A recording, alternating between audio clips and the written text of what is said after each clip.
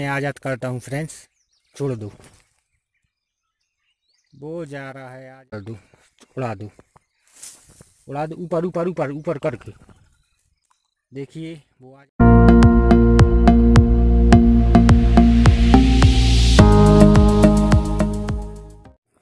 दोस्तों, ये वही पक्षी है जो मेरे गुड़बीदा में फंस गया था। अब इस पक्षी को भी मैं आज़ाद कर रहा हूँ।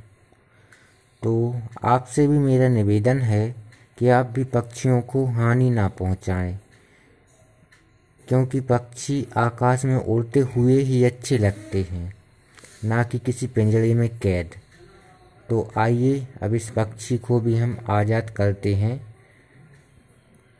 मेरा उद्देश्य ये था इस वीडियो के माध्यम से कि आप कहीं जंगल में फंस जाएँ तो आप गुड़बीदा की सहायता से आप अपनी भूख को मिटा सकते हैं, किसी भी पक्षी का शिकार करके। तो आइए इस पक्षी को अब अपन आज़ाद करते हैं। जो गुड़बीदा का फंदा था ना, वो इसके पैर में फंस गया था। तो उसको अब मैं खोल रहा हूँ और खोलने के बाद इसको मैं छोड़ दूँगा।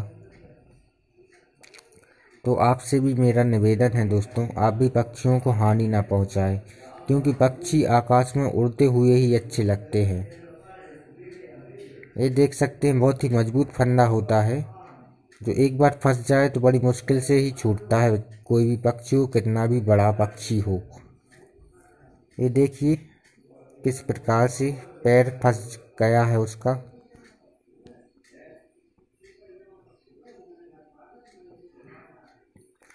ऊपर उठा लो भाई, फिर उड़ाना इसको। हाँ।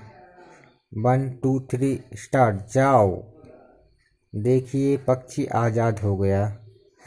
तो आप भी किसी पक्षी को हानि ना पहुँचाए फ्रेंड्स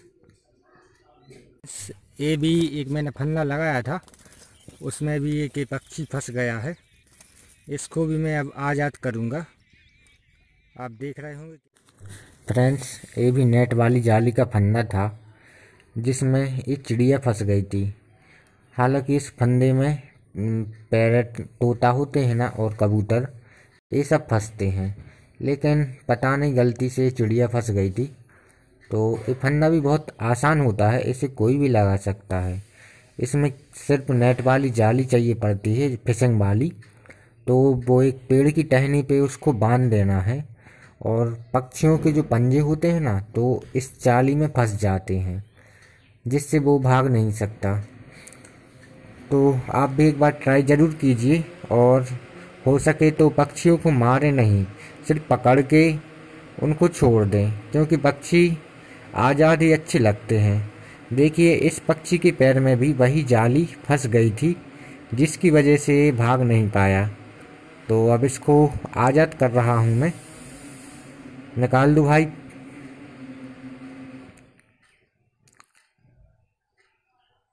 आप देख रहे होंगे कैसे लिपटा है इसके पैरों में ये फंदा।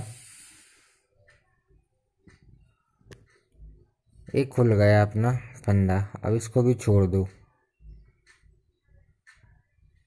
देखिए फ्रेंड्स, ये पक्षी भी आज़ाद हो गया।